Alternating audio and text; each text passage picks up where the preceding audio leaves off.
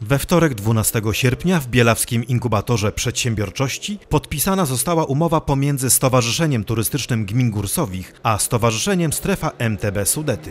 Po y, wyznaczeniu y, tras turystyki pieszej, po uporządkowaniu tych tras, po wyznaczeniu tras do narciarstwa y, biegowego, przyszła kolej na wyznaczenie nowego produktu. Są to trasy rowerowe górskie. Ten system jest już wyznaczony w terenie y, na przestrzeni od Mieroszowa do Srebrnej Góry.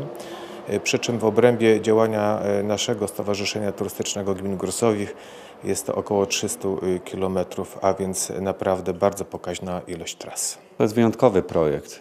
Jego wyjątkowość polega na tym, że łączymy siły, y, tereny ośmiu gmin.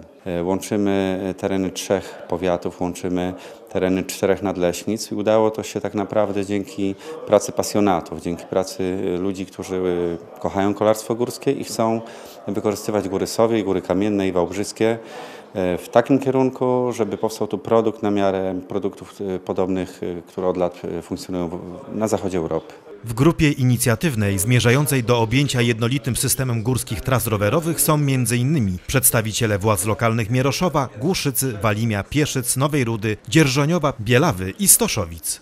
Cztery nadleśnictwa, które zgodziły się e, też na współpracę, które też umożliwiły tą współpracę, wyznaczanie nowych tras e, w samym terenie. A więc partnerów jest e, bardzo wielu.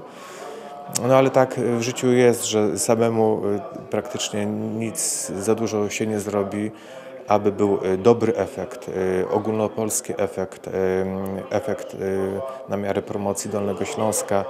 Musi być wielu partnerów, którzy będą pracowali w jednym kierunku.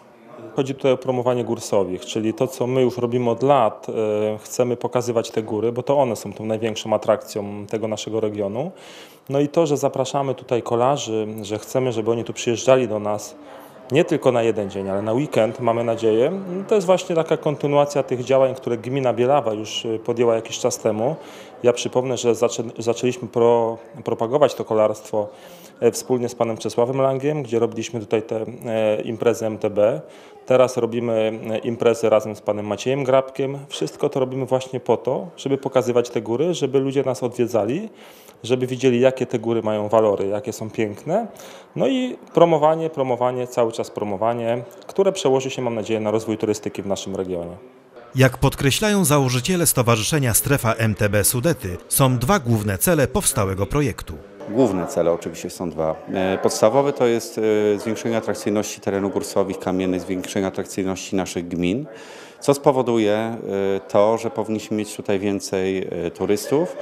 Chodzi przede wszystkim o to, żeby system był duży, zintegrowany. To jest 500 km tras na dużym obszarze, co spowoduje, że turysta, który przyjeżdża, nie przyjedzie tylko na jeden dzień, bo będzie miał tu więcej co robić.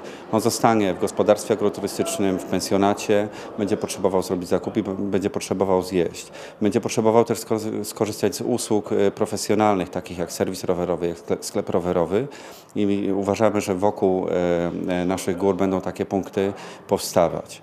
A drugim celem e, jest integracja środowiska lokalnego, ludzi związanych z kolarstwem górskim, z MTB, jak to już teraz popularnie mówimy, żeby pracować razem, żeby rozbudowywać te trasy, żeby małe kluby wciągały młodych zawodników, a temu służy tej integracji lokalnej przede wszystkim puchar, e, który już w tym roku orga- organizujemy, puchar strefy MTB Sudety.